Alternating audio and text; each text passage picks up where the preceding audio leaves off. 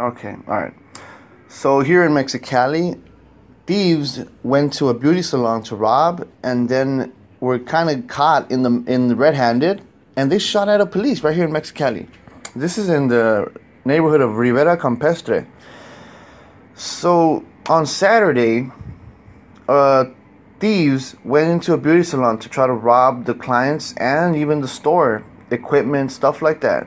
The, the beauty salon was called Dorina. They later called 911 after the incident, which the police came and found the found the thieves in the mix running away, like barely getting away.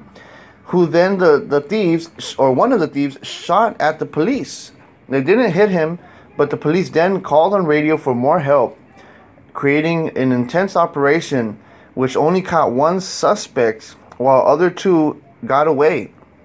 The suspect is is not even identifying himself and doesn't even want to talk to officials. And all we know is that he is of 30 years old.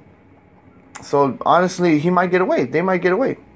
This uh, this type of this type of things like they're used to it because the criminals here they go in and they let them out. Like they let them out like the next week, the next two weeks. This happens. Even with the the drug addicts right here. Like they'll go in, they'll rob a house or rob a business and they'll probably get sent to jail detention for like a week two weeks and then they come back out and rob again. This is this crazy but it's normal. Man look at me saying that. That's normal. Someone shooting at a cop and then coming out. Uh, i live in the wild wild west. I'll catch you guys later